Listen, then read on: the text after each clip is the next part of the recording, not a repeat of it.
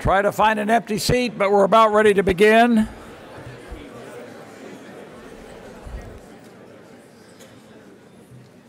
Well, good morning and welcome to the 53rd year of the Landon Lecture Series. Former K State President James McCain instituted the Landon Lecture Series in 1966 when former Kansas Governor Alf Landon, the namesake for our lecture series, delivered the series' first lecture. New Challenges in International Relations. Governor Landon was a champion for society by proposing programs that dealt with women's suffrage, antitrust legislation, prohibition of child labor, and many other important issues of the day. He was not only prepared, but inspired to address challenging issues, just as we continue to be today. That is why this lecture series exists to bring prominent thought leaders to Kansas State University to discuss pressing issues and topics that stimulate thought and provoke discussion. Today, we're very pleased to welcome U.S. Senator Jerry Moran to the Landon program as the 178th Landon lecturer to share his thoughts and opinions on important topics impacting our region and the world. Before Senator Moran takes the podium, I would like to take just a minute to introduce a few individuals in attendance. And if you can, please stand. I know it's a little bit crowded, but if you can, please stand uh, Dr. Chuck Taber, our Provost and Executive Vice President.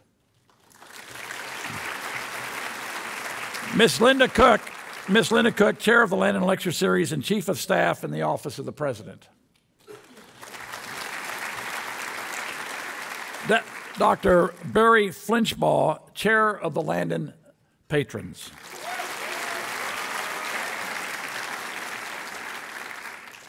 That was a pretty good Applause for you, Barry. Mrs. Becky Bonenblust, President of University Support Senate. Dr. Spencer Wood, President of the Faculty Senate. And Ms. Jordan Keel, our student body uh, president and senior in industrial engineering. And Lacey Pitts, our student body vice president and senior in agricultural economics. I'd also like to introduce our distinguished guest, uh, a special guest, the Honorable Nancy Kassebaum Baker, former U.S. Senator of Kansas. Nancy.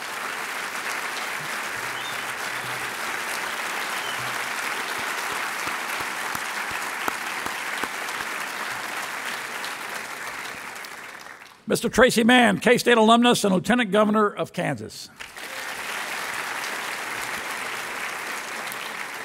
Dr. Blake Flanders, K State alumnus and President and CEO of the Kansas Board of Regents. And Mr. Dennis Mullin, Chair of the Kansas Board of Regents.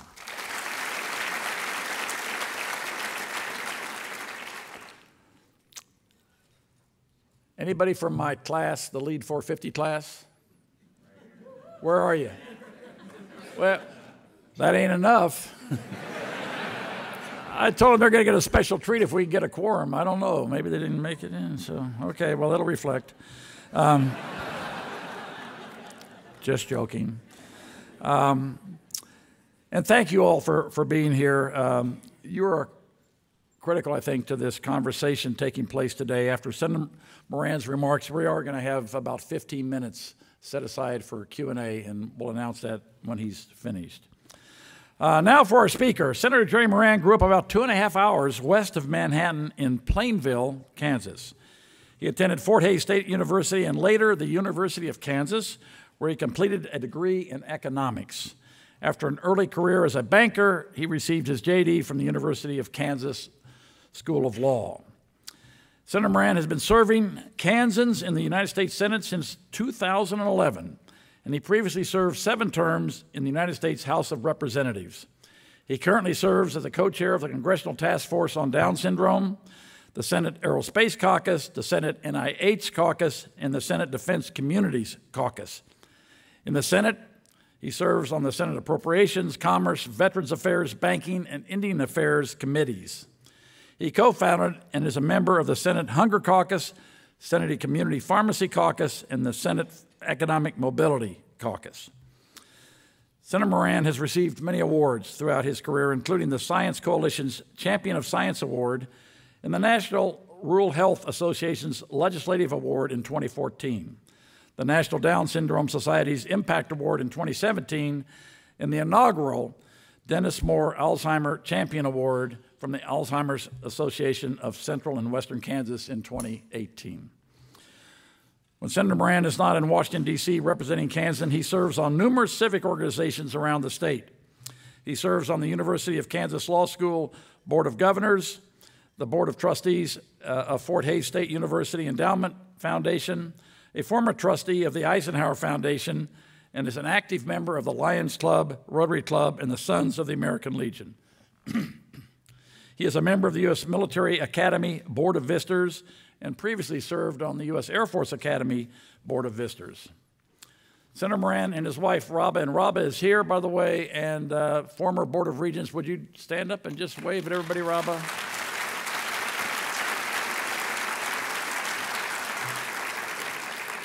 And they now reside in uh, Manhattan, Kansas. And if you knew his workout routine, you'd know where to meet him to ask him questions when he's trying to get some exercise. I know it, and some of you probably know it too.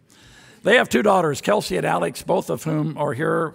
Would you, would you ladies wave to the crowd as well, or stand up and let them see you? Now, both Kelsey and Alex hold degrees from Kansas State University. So, and Dr. Flinchbaugh, our patron's chair, has been quoted as saying, each generation gets more intelligent and attends Kansas State University. That's what Barry says. We're happy to have all of you here, the family here. Thank you for being here. It couldn't be a more important time for Senator Moran to join us at Kansas State University. Today marks the 17th anniversary of the day terrorists launched attacks on U.S. soil since, uh, and the first time since Pearl Harbor. We should not forget how that day changed the world in many profound ways, from international relations and world trade to security and to defense. Senator Moran will share his perspective on these changes in today's Landon lecture entitled Answering the Call Serving a Global Society Post 911. Please help me. Welcome to Kansas State University and to the Landon Lecture stage, U.S. Senator Jerry Moran. Thank you, Mr. President. Thank you. Thank you all very much. Thank you.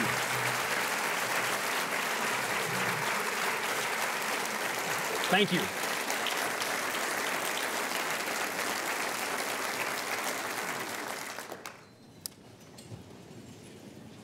Just like a town hall meeting with only a few more people, right? Uh, good morning. Uh, it's such an honor for me to be with you here today and I thank President Myers and Dr. Flinchbaugh for the introduction uh, and the invitation.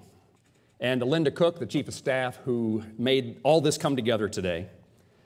And I heard these folks introduced by the President, but I want to issue my special welcome to our Lieutenant Governor Tracy Mann, who was our very first intern in our congressional office in 1997. Uh, and to Senator Kassebaum, uh, Thank you. Hello, Nancy. Uh, I was going to tell you uh, from this podium that I worked on your campaign in 1978, but I decided that everybody I ever knew told me they did once I won. Uh, but I'm telling you the truth. Uh, Senator Kassebaum, I recognize as I travel Kansas that the glory days in the United States Senate from the Kansas perspective is people long for the days of Bob Dole and Nancy Kassebaum representing them at the United States Senate and we appreciate the way you did so.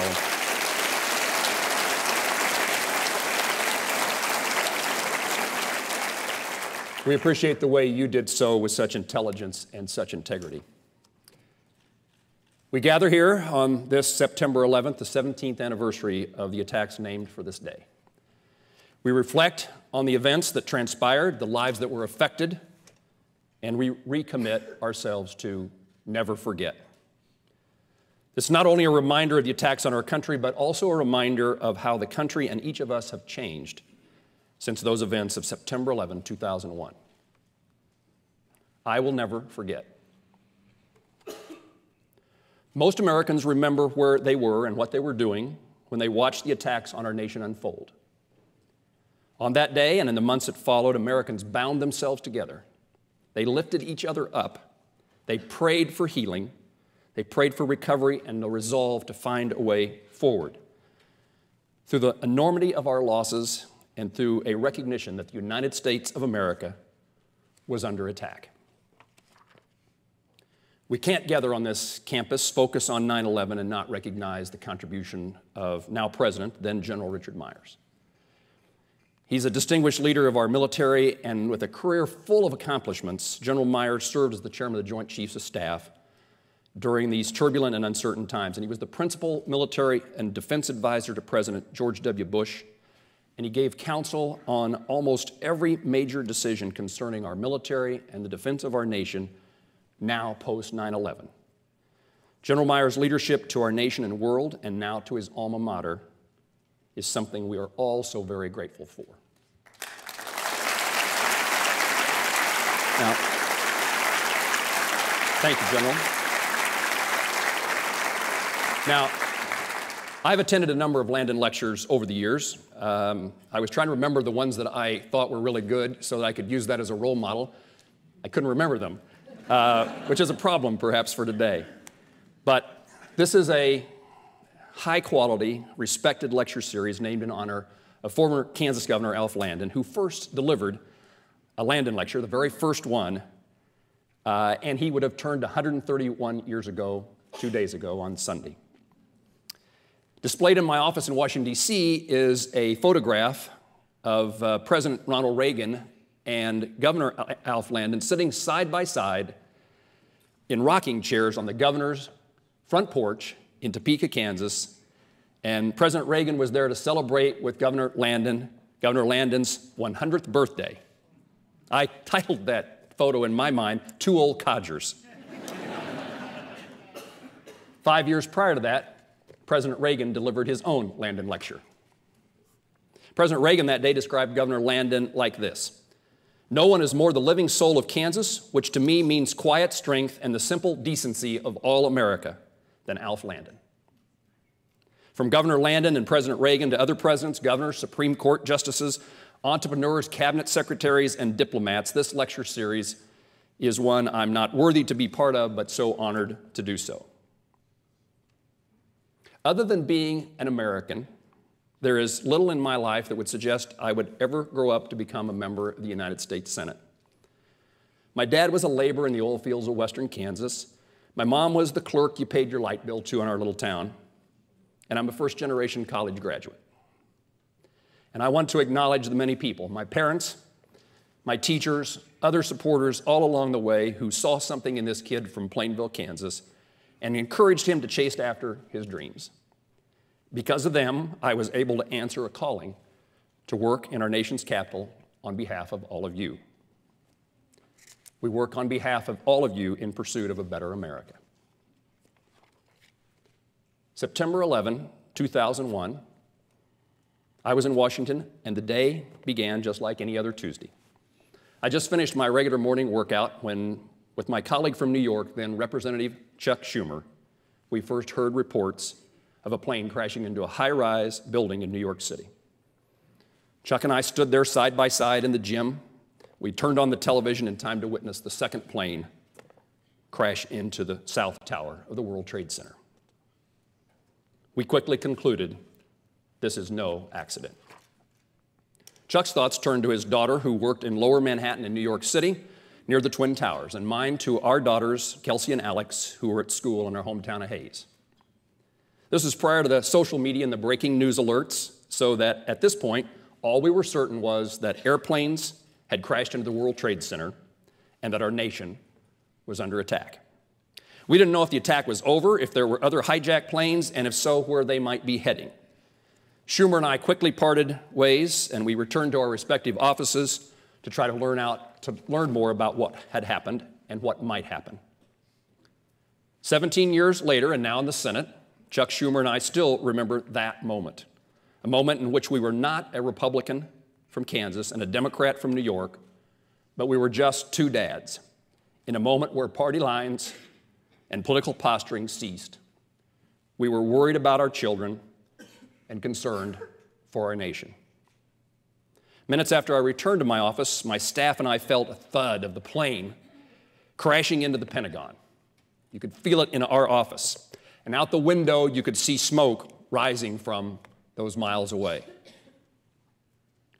We still didn't know what was happening, but we'd been told there was a credible threat of another hijacked plane, this one heading for the United States Capitol.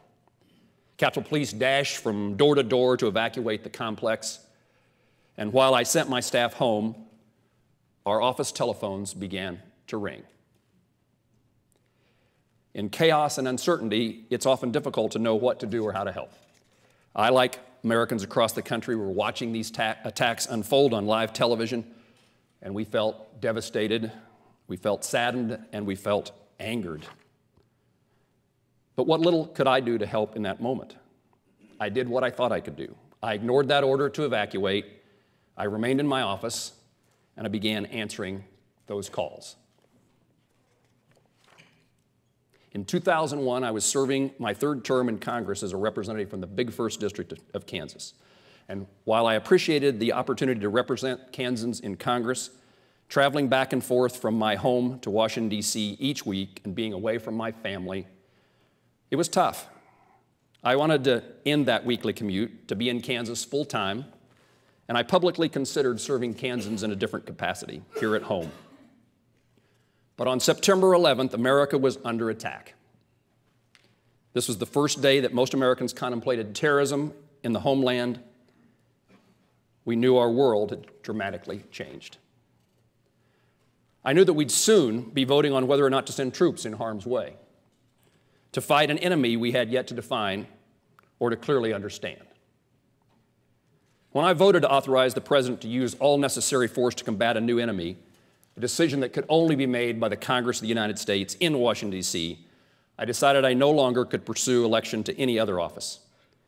Instead of campaigning across the state for another position, I determined I should continue serving in our nation's capital and concluded my work there was not done.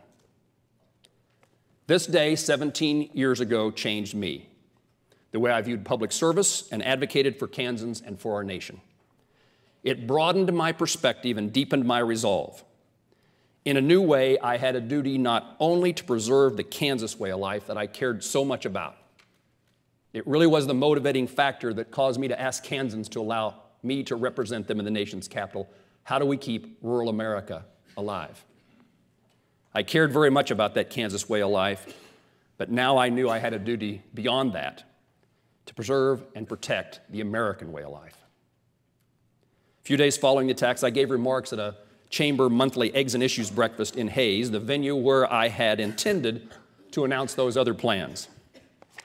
Instead, I visited with Kansans about the week's events and how we all wanted to do something to bring justice to those who'd attacked us, to defend our country, and to provide support for the victims. I announced to that audience that my time in Washington, D.C., uh, up to Kansans, of course, but in my mind, couldn't come to an end. The course we were on was not an easy one. As I told them, them, that, them that day, this was not a task for the day, not for the week, not for the year.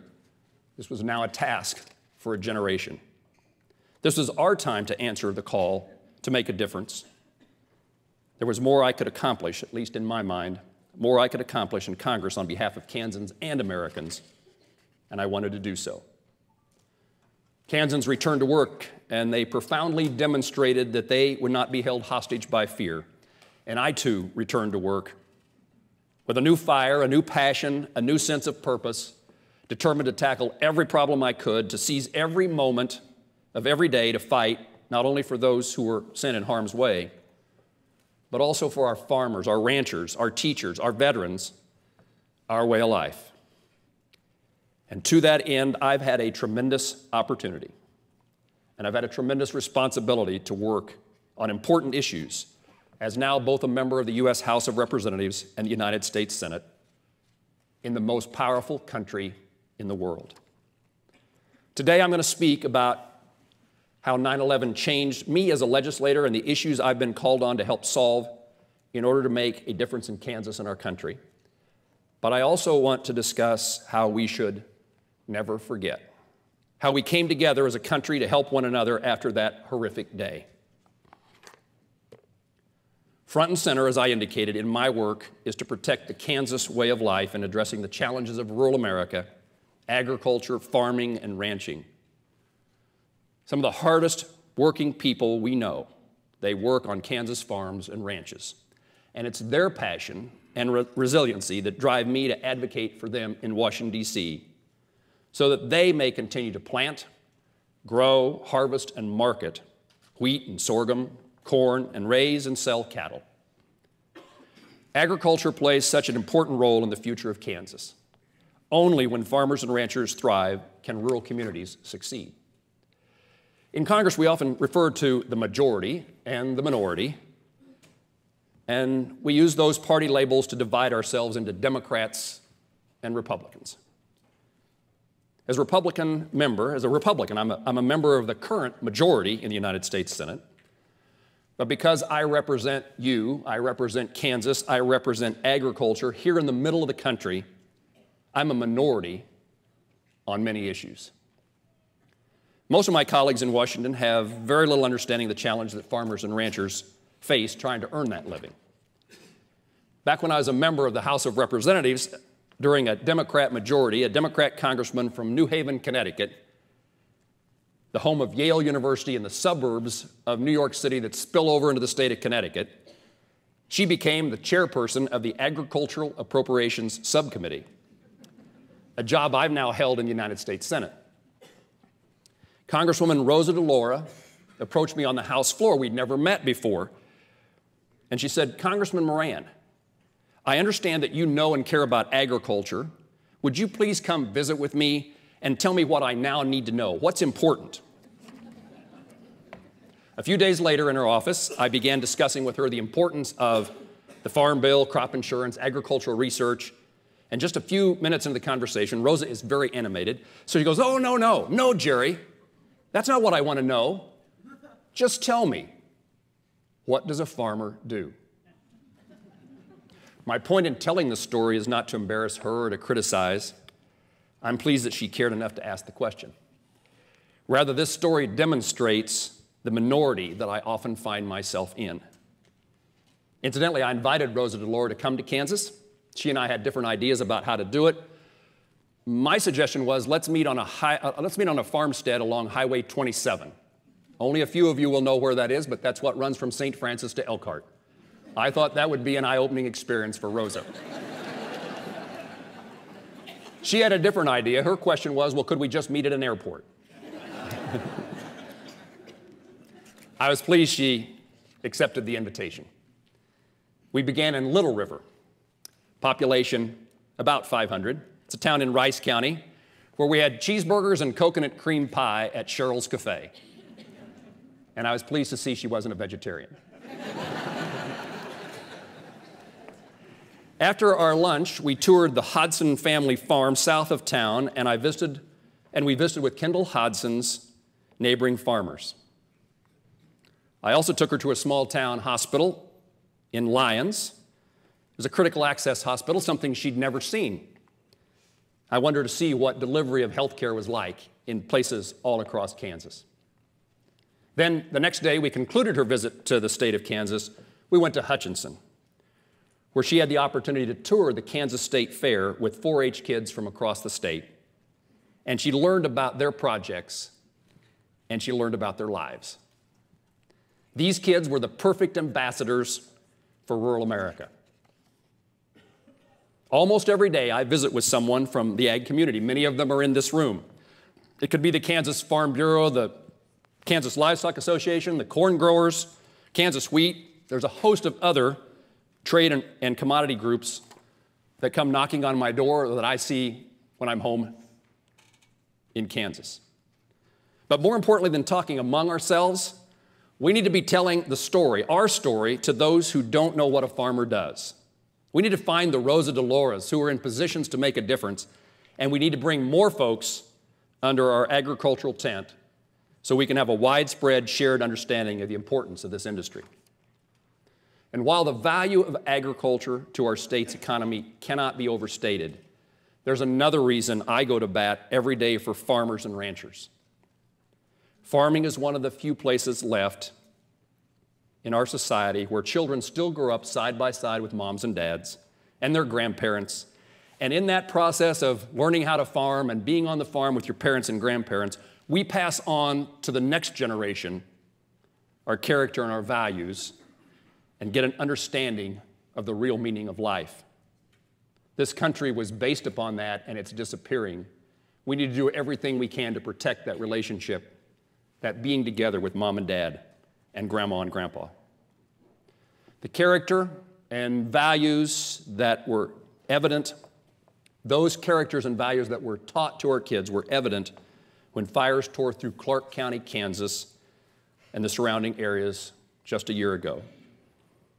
I made it to Ashland on the Sunday following the fire, just a couple days later, and I went to the church, the United Methodist Church of Ashland. And I was there, attended those services with many who only the day before had lost their homes, their ranches, their cattle. Even with their homes and barns burnt to the ground, their grass and cattle gone, the theme of that community of believers clearly showed to me was this it's okay. They're just things. Despite all those losses, they gathered to worship God and give Him thanks for what they saw as their many blessings. In the months that followed, I spoke to many of those ranchers regarding the difficulties they faced in trying to recover and rebuild. I introduced legislation to provide them with greater financial assistance. The legislation was crafted carefully based upon the feedback from those ranchers and others in neighboring counties, and it was designed to get resources to those folks who needed it the most the quickest. I'm pleased that earlier this year Congress passed and the President signed pieces of that legislation into law, and it was what I saw and heard from the people of Ashland that motivated me, drove me to pursue help for their cause. Unfortunately, those funds are beginning to make their way to our farmers and ranchers for rebuilding efforts at a time they are now faced with yet another uphill battle outside of their control. The United States has engaged itself in a trade war that I'm not convinced anyone can win.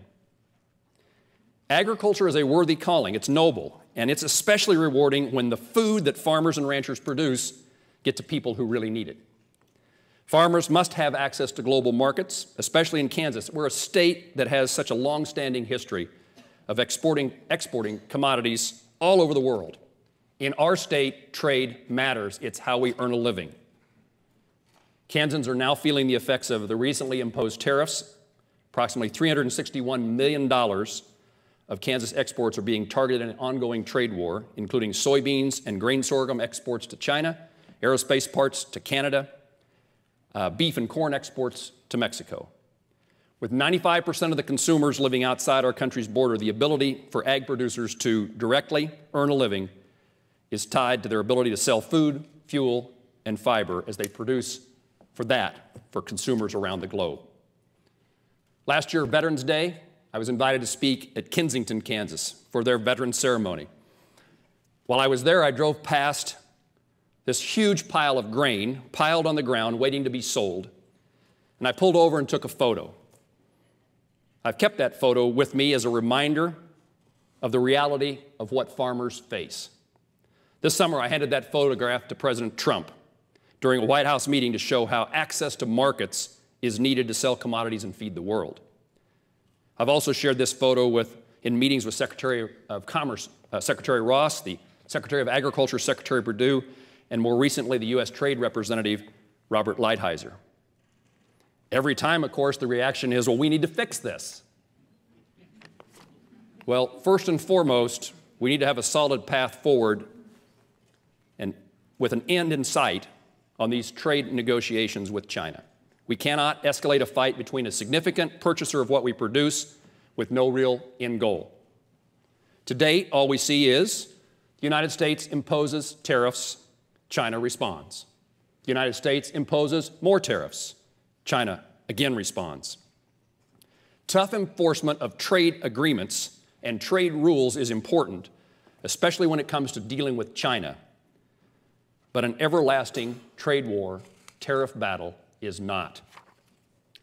I also believe the responsible way forward is to work with our global partners rather than to isolate ourselves. We ought to be continuing to work to improve pre existing trade deals, including the North America Free Trade Agreement, and we ought to be re engaging in others, such as the Trans Pacific Partnership.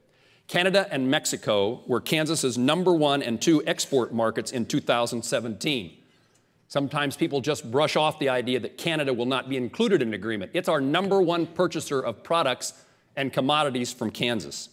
We sell more aerospace parts and products to Canada than anywhere in the world, and more food and commodities to Mexico than anywhere in the world.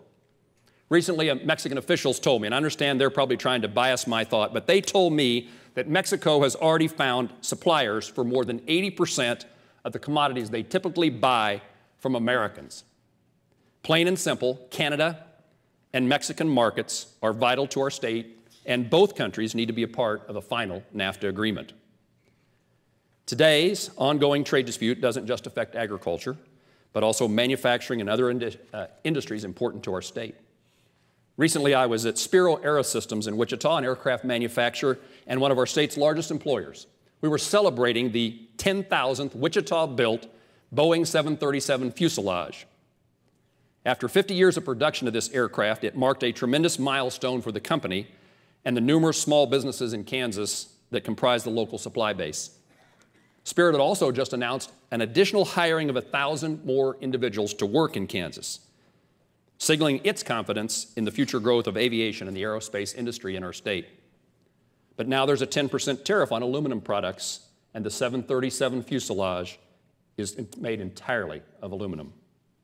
These tariffs may jeopardize what should have been a great success story for the Wichita economy, for the state of Kansas, and even for the president himself. It is one more example of the harm this trade war is causing, and we must not stop working until our trade policy is right for those who own a business and those who earn wages in our state.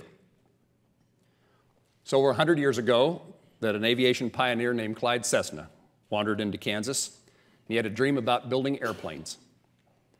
And it's a testament to our strength, to the state's strength, and the talents of Kansans that a century later this industry remains so successful and that Wichita is known as the air capital of the world. We must be certain to continue we need to inspire, educate, and train the next generation of aerospace workers and continue to develop opportunities that allow them to work in Kansas to build the next generation aircraft. In Congress, I'm actively working to close the skill gaps that exist in engineering and other high skilled aviation jobs, and I've introduced, co sponsored, and fought for the advancement of legislation to incentivize young people, especially young women, to pursue technical careers and bring them to our state and help contribute and grow this vital industry. Kansas institutions of higher education play a major role. K State is an active participant in achieving this goal. Three years ago, the Federal Aviation Administration selected a team of universities to serve as its center of excellence for research, education, and training in unmanned aircraft systems. These systems have the potential to unlock extraordinary economic benefits to our country. Everything from precision agriculture, emergency response, uses for law enforcement and our national defense. In K-State, and K-State here in particular has a major, is making a major contribution to this center of excellence because the talents and expertise of staff and leaders like Dr. Verna Fitzsimmons and Dr. Kurt Barnhart and many others. Last year I got to enjoy my attempt to fly my first drone at K-State Polytechnic. It landed safely.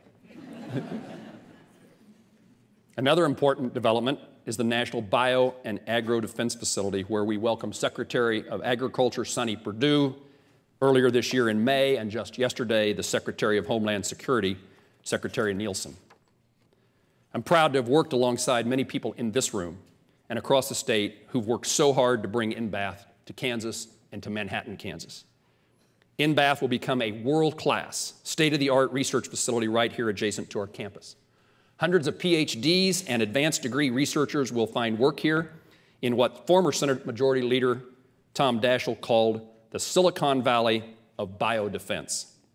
And it will help secure the world's food supply and fight against threats to agriculture and livestock around the globe. This laboratory is representing a changing tide in Kansas, and K State should be proud of this facility and its successful work it took to get it here. And I'm excited to see opportunities that it will provide for students and aspiring scientists. One of my goals is to make sure Kansas, while never walking away from agriculture or aviation, to make sure those students who like science and mathematics, engineering, and research have a path for an education here, but equally or more importantly, have an opportunity for a job here. If we plan correctly, the amount of animal science and bio research that happens here in Manhattan will increase tenfold, and we will secure the presence of an entire industry for this region. If we come together and capture this opportunity, this community and this university will become the hub for groundbreaking agricultural research and the home to the scientists who perform it. I'm the chairman of the Appropriations Subcommittee that oversees, for example, the National Science Foundation, and my subcommittee supports universities in their efforts to increase the number of minority students interested in STEM workforce. I'm excited to announce that we were able to secure a $3 million uh, grant just this week for the Louis Stokes Alliance for Minority Participation program here at Kansas State. From drones,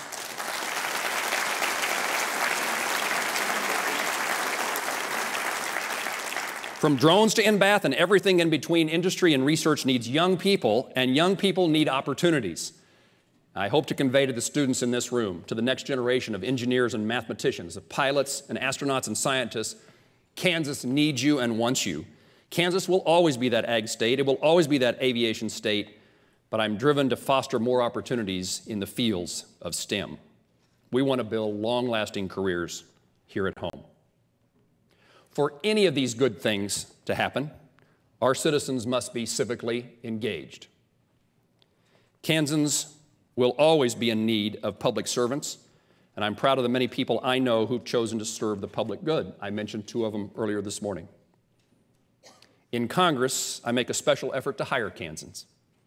I know that they work, the work that they do, and the work that they've done in my office since I was first elected to Congress has been performed with the knowledge that the policies we pursue and the work we do have direct and lasting impacts on their friends, their neighbors, their families, the people here at home.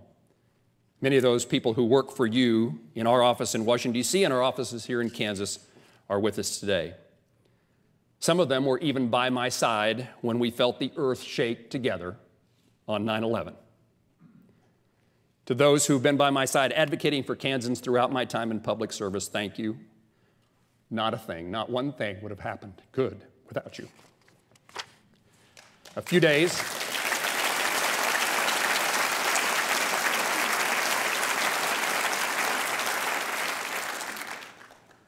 That must have been an applause line because my script says uh, long pause. Uh, so thank you. A few days after September the 11th, those attacks, I was part of the first congressional delegation to visit Ground Zero in New York City. I was walking through that area uh, of the Twin Towers where they once stood. And there, New Yorkers had created memorials to those who died at Ground Zero. Those memorials were created there in the dust and rubble, and they were places where loved ones could come and pay their respects. I passed framed photos of the fallen, teddy bears and other stuffed animals laid there, flowers, as you would expect, at that site. But a specific note, torn from a spiral notebook with that jagged edge, caught my eye. I picked it up and I read this Dear Daddy, how much I miss you, how I hope heaven is a wonderful place, and I hope I live a life good enough to join you in heaven someday.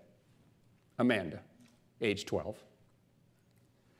At that moment, reading that note, I again realized my commitment to the people who elected me, and my own call, my own sense of what my call was, involved a much larger, more complicated purpose.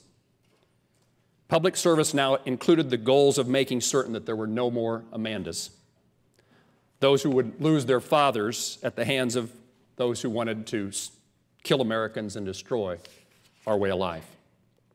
I realized that I must be more engaged in global affairs and I must think more broadly when legislating, that my obligations reach beyond just the First District of Kansas. I realized that in order to be a good public servant and to full, fully, fully fulfill my constitutional responsibilities as a member of Congress, I needed to pay closer attention to America's position as leader of the free world. I realized I had a role, at least some role, in making the world a better and safer place. One of those ways. Beside a moral, besides a moral belief that we ought to do our part for those in need around the globe, I know that international assistance helps assure peace in our own country by promoting political, economic, and social stability in the world. We can act morally and achieve greater stability by way of healthy, affordable, and accessible food. Food shortages act as a catalyst for upheaval and conflict around the globe. And we've witnessed regions of the world as they descend into chaos due to lack of access to food, due to hunger. In assisting those who need it, we reduce the likelihood of another terrorist attack on our nation. It's a double benefit. We help people in need, we protect ourselves. Access to food provides hope and it provides economic opportunity. And when parents can provide food for their children, they can provide a better future for their children. And if we can help equip people with the tools they need for a better life, maybe they won't look to Al Qaeda or ISIS or other global terror organizations to find their purpose. The call to feed the hungry has been answered by so many Kansans before me, and I'm proud to support Dole McGovern Food for Education program, which provides meals for school children in food insecure places around the world. Dole McGovern, as well as Food for Peace, which was signed into law by another Kansan, President Dwight D. Eisenhower, is an example of the United States using its leadership role in the world for good and moral reasons. I called Senator Dole last uh, month. Uh, August was his 95th birthday. Um, I wished him a happy birthday and had the opportunity to thank him once again for his efforts related to hunger but also for helping to inspire me, to inspire my interest in this topic. And I now serve as the co chair of the Senate Hunger Caucus. Senator Dole remains passionate as ever, and we, as we've often discussed, trying to continue the work he started to eliminate hunger worldwide. Sadly, the world is facing one of the greatest humanitarian crises of modern history. Estimates indicate that 800 million people worldwide, one in every nine, will go to bed each night chronically hungry. In Congress, we fight for international food aid programs and the agricultural research and development initiatives that reduce hunger and promote stability worldwide. I'm dedicated to carrying out the legacy of Senator Dole, the one that he built as a champion for those efforts to end global hunger. As Bob Dole would say, feeding those, as Bob Dole has said, feeding those in need represents the very heart and soul of our country. K State, is a leader in research to improve crop production and prevent post harvest losses in key grain producing areas in the world, and it's critical to our effort in ending global hunger. K State received over $100 million from USAID to establish Feed the Future Innovation Labs focused on agriculture production in developing countries. Additionally, we can't ignore those who are hungry here at home. Living in Kansas, as we do, we're the breadbasket of our nation, and it can be difficult to comprehend that our neighbors often go to bed hungry. And it's true especially in rural communities across our state. According to Feeding America in 2016, that was the first year on record that a great, greater percentage of people living in rural places were hungry, more hungry, than people living in urban areas, a startling trend that is expected to continue. The lack of a grocery store in many rural places across the country limits the access to healthy and nutritious foods and contributes to people's hunger. I'll always remember 2007. I visited Greensburg the morning after the deadly uh, EF5 tornado. It tore that community apart and it demolished the local grocery store. When I arrived in town that morning, it was unrecognizable. I happened to re represent Kiowa County, Greensburg as a state senator. I knew this community.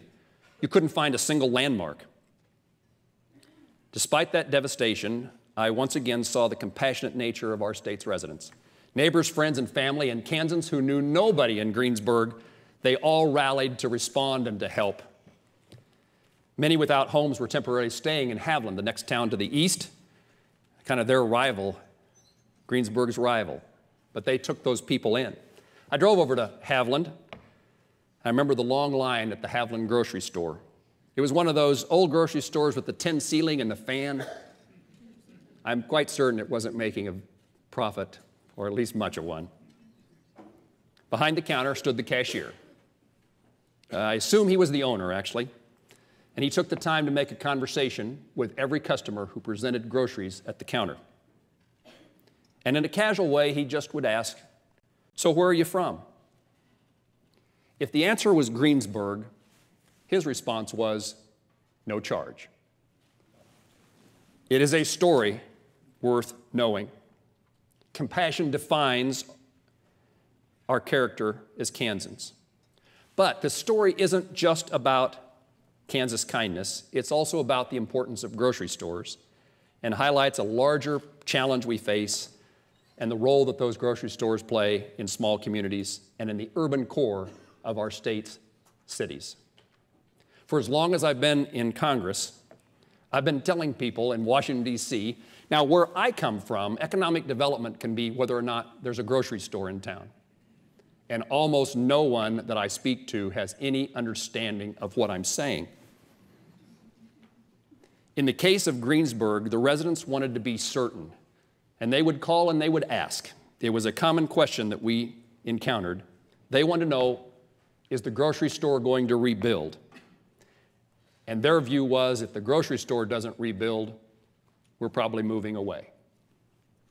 But, not surprisingly, a Hutchinson native and then Kroger CEO David Dillon, who managed one of our country's largest chain stores of groceries, he took care of Kansans. He was lobbied to do so, incidentally, but he did it. Dillon's was the store that was there before. It was gone. But he worked across the company to develop a new, innovative convenience store that was right sized for the grocery needs of Greensburg. And that store is part of the mainstay of the Greensburg community today. In this spirit, I introduced bipartisan legislation this Congress that would incentivize food providers to open grocery stores, food banks, and farmers markets in food deserts, areas where people lack access to healthy, affordable food. These efforts could help fill critical needs that affect small communities and urban centers across our state and country. Now, despite the amount of time I've spent working in Washington, D.C., truth is, small town Kansas really does feel like the center of the universe to me. I feel at home, more comfortable, and most centered when I'm in Kansas. Wherever your hometown is, I'm pretty certain I've been there. And I probably found myself thinking, I could live here. 17 years ago today, the Twin Towers in rubble, the Pentagon smoldering, a plane crashed into the Pennsylvania field, Americans responded. Sons and daughters chose to serve. They volunteered to wear a battle uniform. They chose to answer a higher calling, and every one of those soldiers, sailors, airmen, Marines valued American freedoms above their own lives. It was a time that called us to service, including military service. Many who volunteered, they did so knowing that they'd likely see combat. And many did deploy to Afghanistan and Iraq to Syria and elsewhere. And some didn't return. Thank you to those here who served our country. We honor the sacrifice that so many continue to make to protect our homeland and our way of life.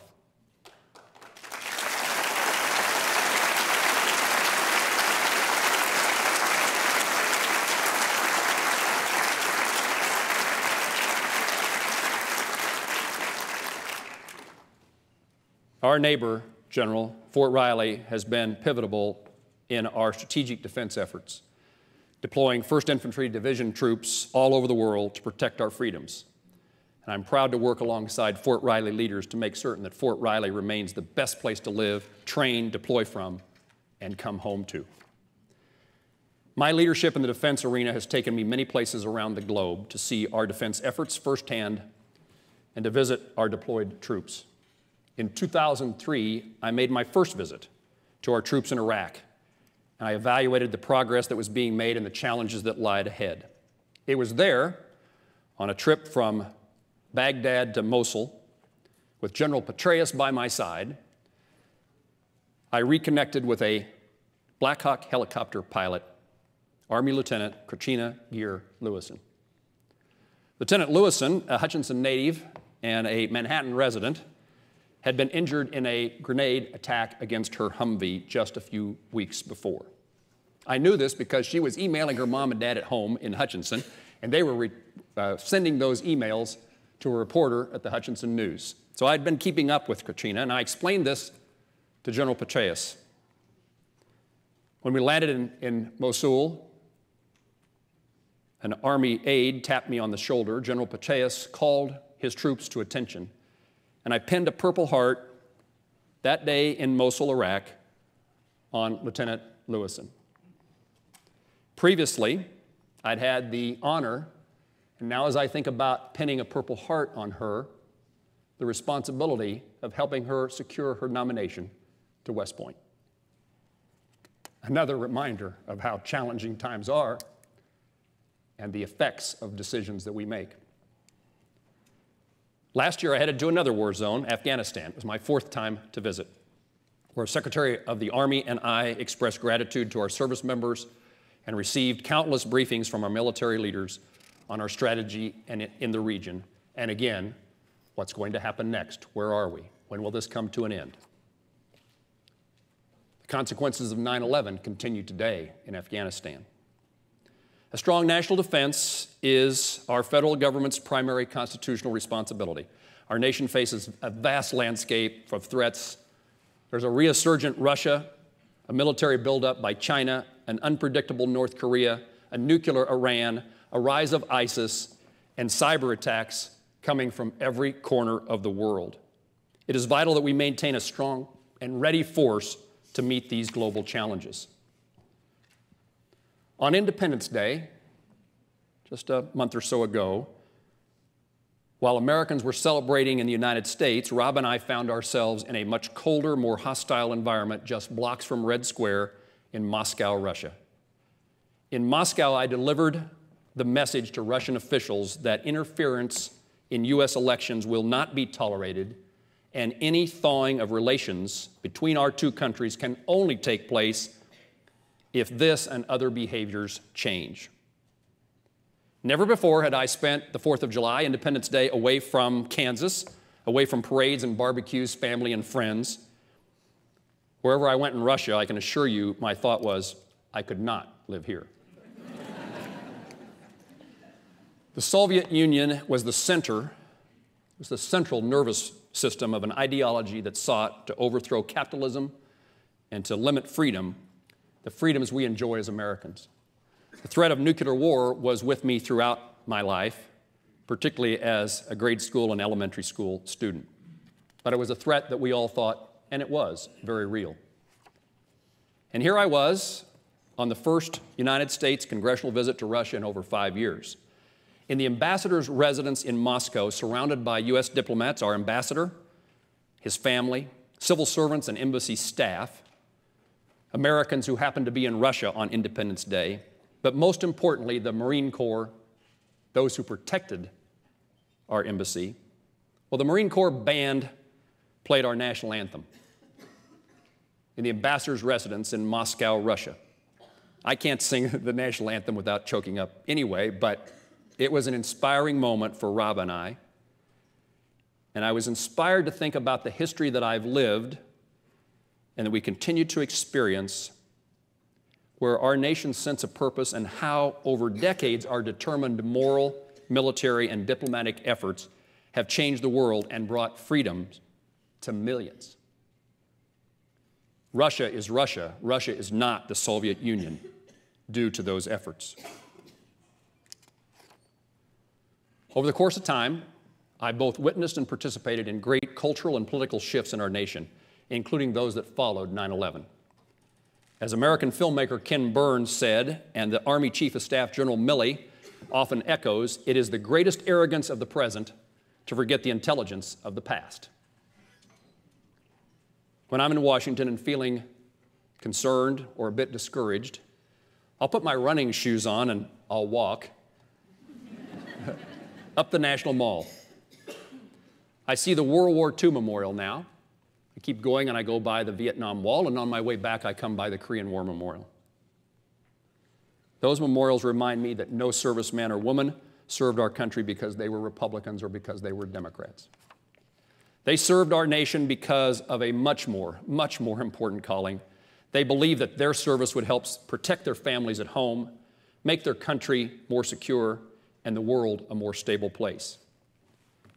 I think back to my time as a high school student in the 70s. I had friends who were called to serve in Vietnam. They just happened to be a year or two older than me. That was the difference, a year or two, when you were born. I was embarrassed by the treatment those returning soldiers faced when they came home. And I've remained determined to make certain no veteran is ever again treated in a disrespectful way. On one of those walks up the National Mall, I stopped at the Kansas column at the World War II Memorial, and I thought of my dad back home in Plainville. I stepped away from the, from the monument. I had my cell phone with me, and I called my dad back home in Plainville. Fortunately, I got his voicemail because what I said that day is difficult for sons or daughters to say to their parents. I said, Dad, I'm at the World War II Memorial. It was built in your honor. And I want you to know that I thank you for your service. I want you to know that I respect you. And Dad, I want you to know I love you. During that walk back from the World War II Memorial to my office, my cell phone rang. It was my dad. I, of course, answered it, and he said, Gerald? Gerald, you left me a message and I couldn't understand it. Could you repeat it?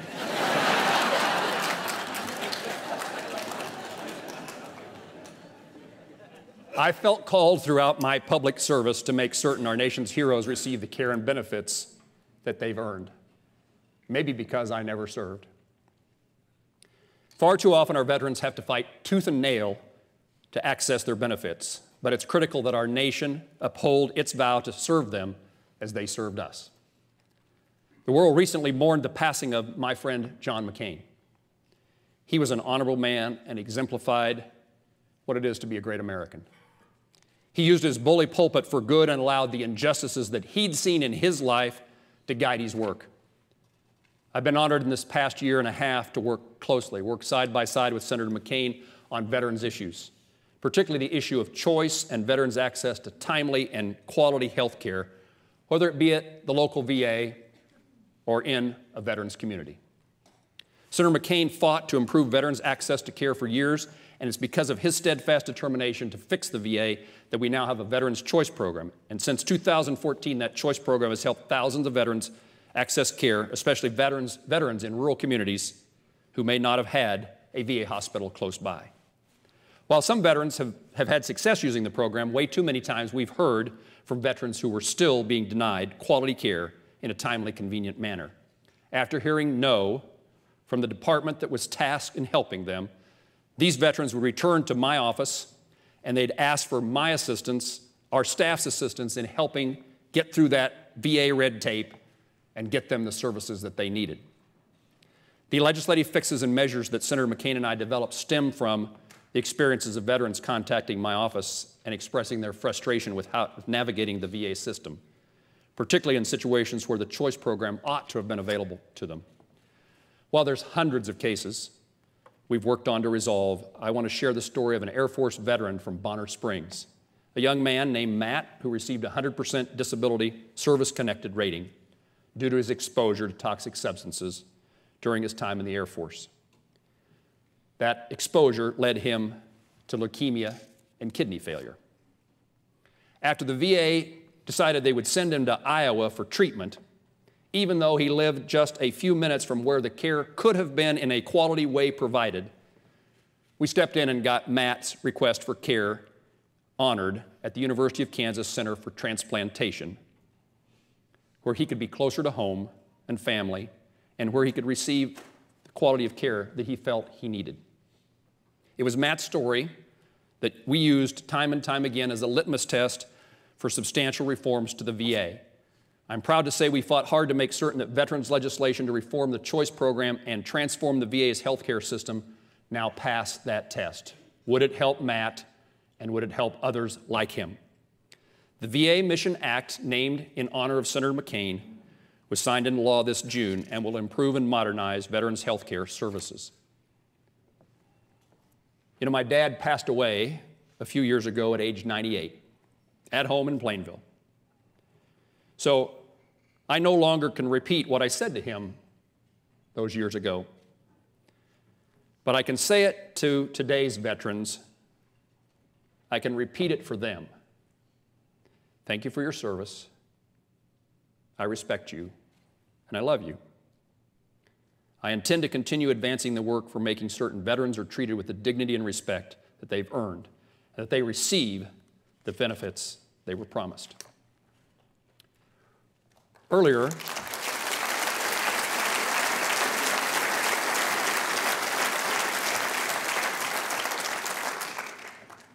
Earlier, I spoke about remaining in my office and answering those Kansas telephone calls on September the 11th. Now, let me tell you what those Kansans called to say. They called to ask how they could support their fellow Americans, how they could help uh, with recovery.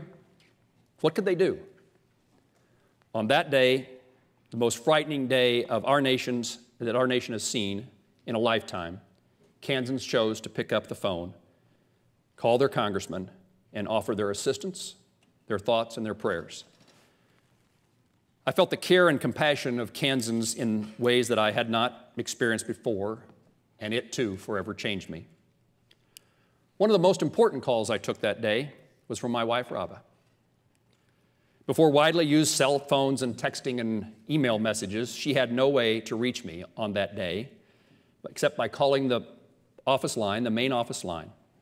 And her concern for me on that day and her efforts to make sure it was she who told our daughters that their father was safe, rather than learn something from the television, is representative of the larger sacrifice that my family has made in order for me to continue to answer the call of many through campaigns in my time in Washington, D.C., and all the other drama that comes with being a family and a wife of an elected official, my family too has answered the call.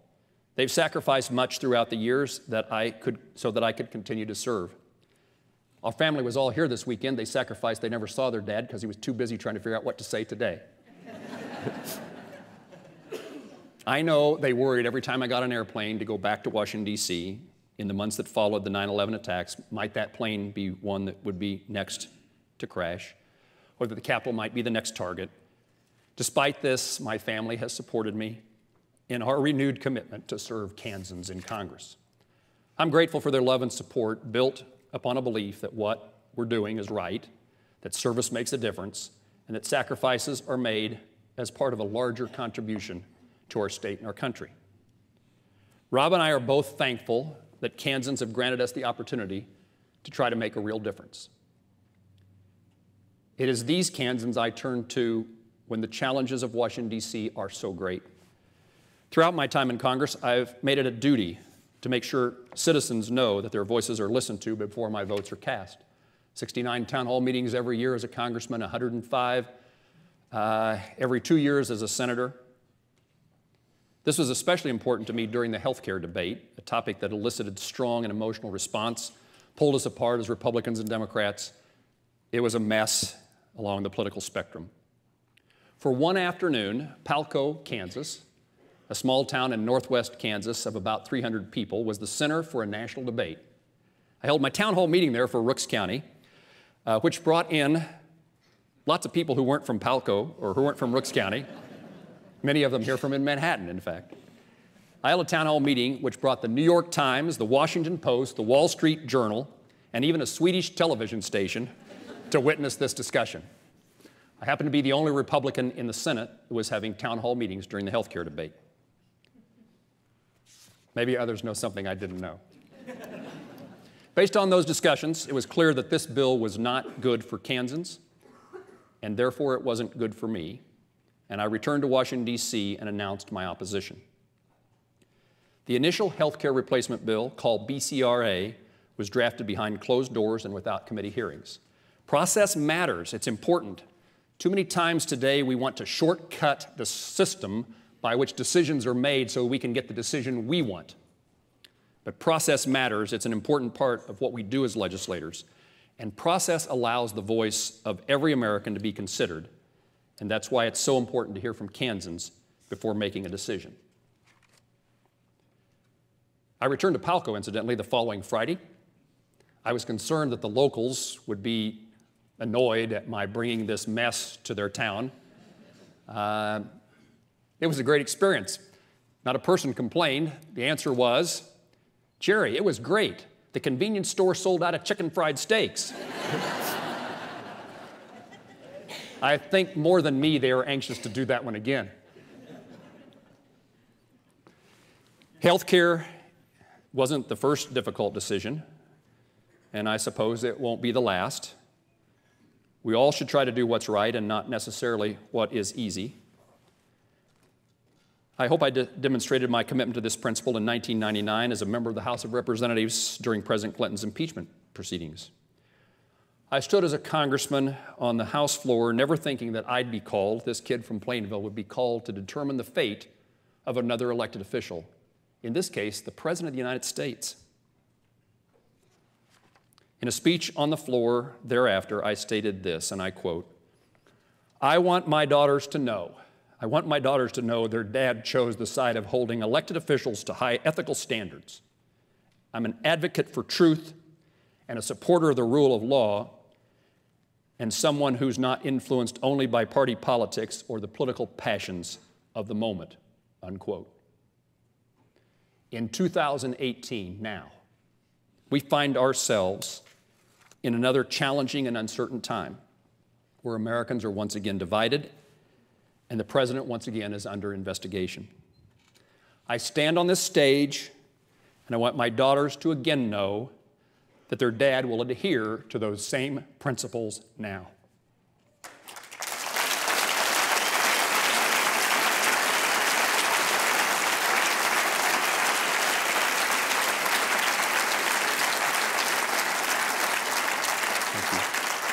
Today, I've spoken about my experience on September 11th and how it changed and shaped me as a legislator. It altered my trajectory of my career, and it prompted me to recommit myself to serving Kansans in the nation's capital. But in addition to, and perhaps more importantly than how that day impacted a congressman from Kansas, September 11th, 2001, refocused us as a nation on the things that pull us, pull us together, that bind us together, rather than those things that pull us apart. As I stood next to a New York City congressman from Brooklyn, we saw a nation under attack. While we disagree with each other more often than not, we stood there together and we saw each other as fathers, not foes. We saw each other as fellow Americans, not political enemies. That sentiment between us continues today. The first vote Congress took following the 9 11 attacks was a bill to authorize the president to send troops overseas. It passed the House of Representatives 420 to 1. That's a rare demonstration of congressional unity. It was important to show the world, then and today, that Americans were united in our resolve to take the necessary steps to see nothing like 9 11 would happen again. Just as we pulled together that day and in the days that followed, the memory of September 11, 2001 ought to have the very same impact today, September 11, 2018. It should be just as powerful. It ought to compel us to pull away from the division, the political posturing, and the partisan shouting and just get back to work, solving the big and important issues facing our nation today. Back in the 60s, I remember asking my dad, this is when the Vietnam War was going on, race riots in communities, cities across the country. I saw this every day, every night on the CBS Evening News with Walter Cronkite. I asked my dad, Will our country, let me say it this way, will our country survive? My dad's answer was yes, the country will be just fine. Every generation, well, even after 9 11, I suppose we ask that same question Will our country survive? And I suppose every generation, it seems, has that question before them at one point or another. And today, I assume that many are asking, What's going to happen to our country? Will it be okay? Will it survive? The answer is yes.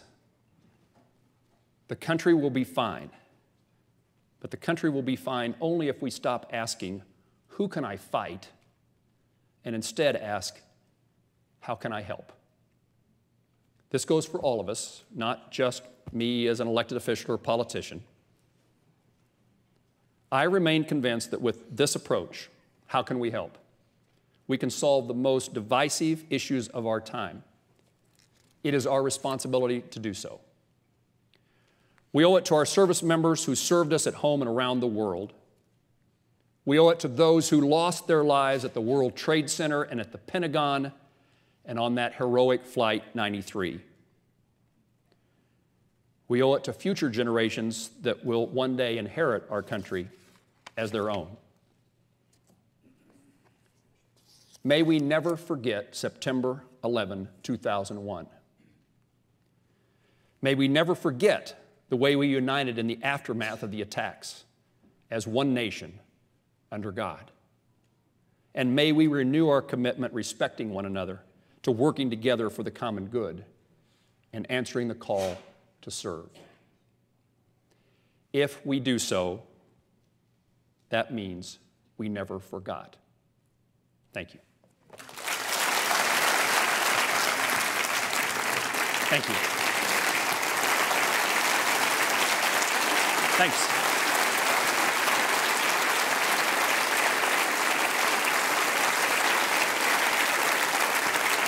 Thank you, sir. Thank you, Thank you sir. We'll stand there all right. Thank you.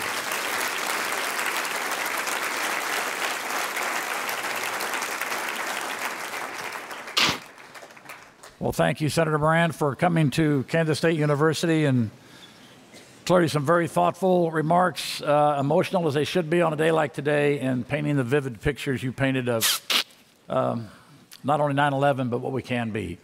So, with that, we have microphones down here. Uh, we have a few moments for uh, questions. If you'd like to ask a question, and I see some students going to class, I got that part. Um, if you'd like to ask a question, please come to the microphone, uh, state your name, tell us whether you're a student, faculty, staff, or community member, and then ask Senator Moran your question. So, the mics are now open for questions. In my town hall meetings, I generally try to leave about 60 seconds for questions. uh, but I'm not uh, in control of the rules today. Sir. Good morning, Senator Moran. Thank you for presenting. Tim Weddle. Um, I was a student, and then I was a GTA teaching Spanish, and now I'm in the private sector and enjoyed all of those. So, um, in, in the 2000 campaign, President Bush, um, or then Governor Bush, vowed to return decency to the Oval Office. And you ended your remarks today uh, kind of on that note of returning decency to the national political conversation. Um, I wonder if you could give, first of all, your, your perspective on how you would encourage your colleagues to do that and how you would encourage those of us in the room and the audience to help. Uh, Tim, thank you for your question. it, it is, a, a, it was my attempt to make that point that that's so necessary. There's nothing wrong with disagreeing. Absolutely nothing. It should lend itself to a better answer, more knowledge, and, and a conclusion that perhaps is widely accepted. I try to figure out from time to time, pretty consistently, why is this country so divided? And I mentioned process in my remarks. If people don't feel like they had a say in the process, then they're angry at the outcome. And so we need to do more as a Congress, we as elected officials, to connect with our constituents. And at the time, I mean, at this point in time, it's difficult. People are already angry. But the, the solution to that is not further pulling away from those we represent, but bringing ourselves closer to them. So I don't think that you can. I mean, we, we've had a number of instances, most recently the death of Senator McCain, in which once again we were pulled together but they don't seem to be long lasting enough. And I almost sidetracked in my remarks today when I mentioned Walter Cronkite. As a kid, I watched the CBS Evening News with Walter Cronkite, and he ended his news every half hour, every, every evening, with saying, and so that's just the way it is. When he retired, I discovered, at least in my view, he was a pretty liberal person. But I never knew it when I watched the CBS Evening News. And I missed the days, and it would be something that would pull us together if news was delivered in a way in which it just really is straightforward. And today we all watch the media as what we want it to be, what we want the story to be, as compared to just the way it is. Social media, I've never had a bad ex- uh, experience with Kansans uh, in my time as an elected official, even in disagreement, sometimes uh, a strong disagreement. But social media has a habit, gives us a sense that we can say things that uh, we would never say in person. And again, is pulling us apart. Now, I have a new, I don't believe it's actually Kansans who are saying those things on my Facebook page. I have a new theory it's the Russians. but uh, your, your question is, is what can you do? And my only point, I guess, is that all of us need to, to conduct ourselves in a way in which we respect other people. Mine is, mine is pretty straightforward. I'm of the view that God made me. I'm of the view that God made you. Who am I to be disrespectful to a God, to a creature that God made? And with the right approach to people, I think we can pull ourselves back together, but the will has to be there. Hello, I'm Will Bannister from Manhattan High School. And the Will question Bannister, do I know your family? Uh, you may know my father, Grant. I do. Okay. the Bannisters are from Hays, really. so I have the following question for you. Africa is staged to be one of the fastest growing regions in the world. It has the world's youngest population. However, the United States has failed to open markets in Africa it has become one of the largest consumption markets in the world and will continue to grow. Yet unemployment is rampant and Western education has become a cultural taboo, making it a bed for jihadist terrorism. China has take, overtaken the U.S. as the largest trade partner of the region and investor. The Chinese Belt and Road Initiative will only further this. Education is being continuously supported by China and offering a counter model that is destructive to our Western values. As sender, how will you, what will you do to ensure that the United States can open African markets and ensure U.S. economic and cultural soft power across the region? Uh, thank you very much, Mr. Bannister. The, first of all, we need to speak loudly, and this is some, an, an area in which sometimes Kansans at least are skeptical um, and sometimes disagree and that is that we have an opportunity. And again, I tried to outline this in my remarks that it's to our own benefit to engage in Africa and elsewhere for our own security. Yes, there's a moral component. Yes, we uh, ought to be helpful in trying to feed the world. A reason that I chair the Senate Hunger Caucus is because I'm a Kansan who recognizes our production has a great calling, has a great opportunity for it to meet the needs of those uh, hungry around the world. And the work that goes on here at K State helps people in those countries develop their own agriculture and food resources. So, first of all, there is a growing sentiment in our nation that we should withdraw from the world. And my view is we can't afford either for ourselves or for moral reasons to do so. It doesn't mean that we ought not expect more help from other places. We ought not have to do this alone. It ought not just be U.S. tax dollars that are being spent. But we need to call the world to action. We need to work together in this global economy to make certain that we are fully engaged in the rest of the world. It is easy. I remember as a House member, a farmer in Kansas. I don't think he's in this room, but his instructions for me was forget the rest of the world. Just take care of ourselves. Odd thing for a farmer to say. The question you could ask that farmer is what 48% of acres do you not want to plant, grow, or harvest because we can produce more than we can consume? It is in our best interest to engage. And I would only highlight what you said about China. Nothing is in our best interest when China is more engaged than we are around the globe. And I'm of the view, particularly now when we are in the trade war and, and lack of trade agreements that I described, we ought to be fully engaged in pursuing every market. Africa, I've been a long proponent of trying to, to allow our Kansas farmers, American agriculture, to sell to Cuba. We don't do ourselves any good when we isolate ourselves. We actually harm ourselves. And so I just would say, I guess in broad terms, your comments are correct, and it's a broad call for the American people to support the efforts in Washington, D.C. to protect them and to provide stability, to protect the rest of the world and protect ourselves and provide some stability. Um, and in the meantime, in the same time, we can satisfy a moral calling to do so as well. Thank you. Thank you.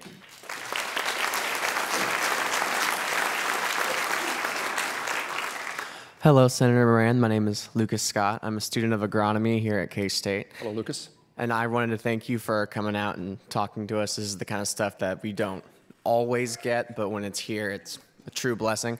Um, I was curious. I was going to ask you. So, kind of with the face of the trade war with China and the incoming population growth, there's going to be a lot of trouble in the agricultural sector of Kansas and America. I think.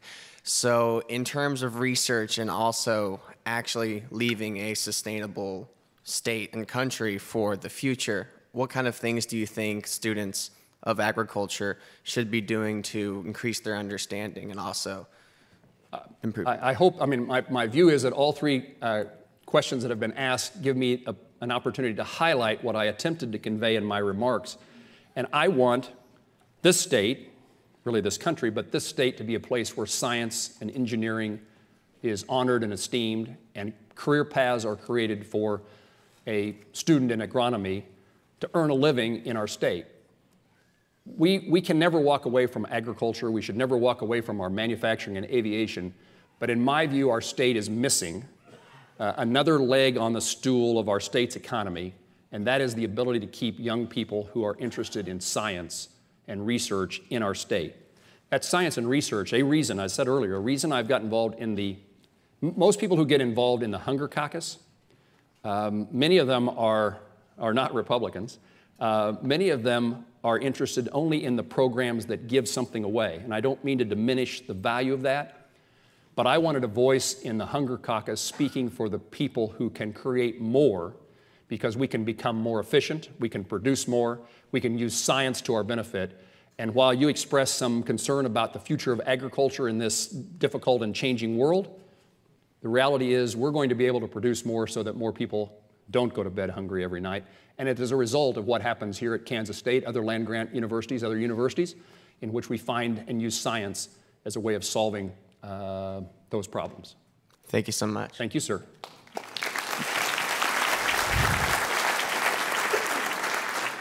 Senator Moran, this will be the last question. Oh, last question. Okay. Sure. Senator Moran, um, my name is Amy Betts. I'm a faculty member in mechanical and nuclear engineering. Um, and I just wanted to ask you a little bit or expand a little bit on the role of immigration and how that affects Kansas, because this is also something that our policy changed a lot, or ideas changed as a result of 9 11, and then that's impacting our country today. Uh, Amy, that's a really valid point, and perhaps uh, is trying to summarize the policy issues that our country faces in part because of the consequences of uh, 9 11. Immigration clearly could and should have been included in my remarks. Uh, we need uh, people who want to work in the United States. Uh, we need that particularly in Kansas and in agriculture. occasionally, perhaps more than occasionally, when I say this, I'm told by some of my constituents if uh, Kansas businesses, if farmers and others would just pay uh, immigrants more money, I'm sorry, Americans more money, Americans would accept the jobs. I don't think it's true at all. We don't raise our kids to do the things that many come here in the United States to do. Uh, we need an immigration system that is much more, uh, we have an immigration system that is broken. We have an immigration system in which we can uh, determine a, per- we, have, we a, a discussion in this country about what it is how many people can we assimilate into our country? What kind of people do we, do we want to encourage to come here? What do we need to do about a humanitarian role uh, in that conversation? And figure out how many people that we can uh, assimilate uh, into our nation, and then have a system in, by which those, that person, those people who are trying to come here, their security can be identified, whether they're a security risk, their health risk can be identified, and in a matter of weeks or months, not years or decades, a decision is made. Our system today and our staff that uh, I, I, I would again praise, they probably spend more time on immigration issues than anything else, more so than the, for the business folks in the, in the room, more so than the IRS. We spend more time dealing with immigration, trying to solve people's problems. I sometimes think, incidentally, and I had this conversation last night, that we are uh, opposed to immigration until we know somebody who's immigrated. And so, in the macro sense, we get nervous about people coming here, and we get to the micro sense, the individual, uh, and we want to make sure we do everything to help them. If they sit in the pew in church with you, if they work beside you at your office, uh, if they are providing the labor that you need for your farm, your view on immigration becomes something different than sometimes it's portrayed uh, in Kansas and across the, the country. So, a, a, significant effort at trying to uh, improve our system in which those things are determined. When our staff does casework trying to solve a problem, often the answer is there's a folder, a file for that immigrant application. It's sitting on a desk in Lincoln, Nebraska, and it's been there for 10 years. It is a broken system that, that fails in so many ways. I had hoped, I'm for a DACA fix, I had hoped that DACA would be a method by which we could bring uh, people together and more broadly address immigration than just DACA. So far, we haven't been able to, uh, my, my, my thought must have been a faulty one, because so far we haven't been able to even uh, address DACA. But for too long, in my view, we have said we need a comprehensive immigration system, uh, legislation, and if we can't get that, we're not doing anything. My take is let's figure out what the issues are.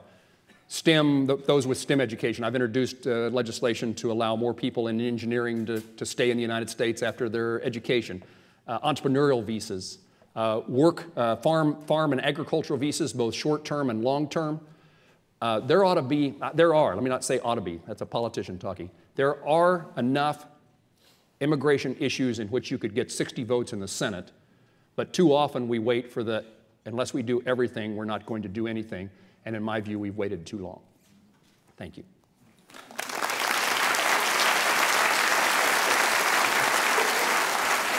Well, thank you again, Senator Moran, and thanks to the folks that asked the questions. Thanks all of you for attending uh, this lecture. We uh, are honored to have Senator Moran on our stage here at Kansas State University. This counts as my Riley County Town Hall meeting for 2019.